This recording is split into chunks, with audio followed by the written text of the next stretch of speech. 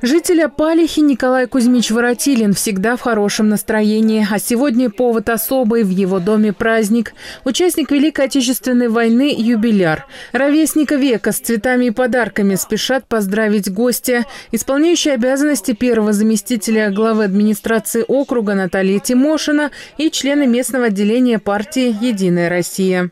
В рамках партийного проекта «Мои года, мое богатство» сегодня поздравили нашего ветерана Великой Отечественной войны Николая Кузьмича с его праздником, с днем рождения, да ладно, просто с днем рождения, с юбилеем. У нас в городском округе Красногорске есть такие люди, на которых нам, подрастающему поколению, нужно на них равняться и, конечно же, эту историю передавать из поколения в поколение.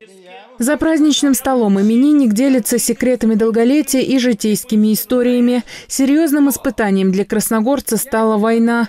После окончания Арзамасского училища Николай Кузьмич в составе 2-й гвардейской минометной дивизии был направлен служить под Сталинград. Фронтовых дорог пришлось пройти немало до долгожданной победы. Ее боец встретил в Берлине. Для гостей эти воспоминания интересны и дороги.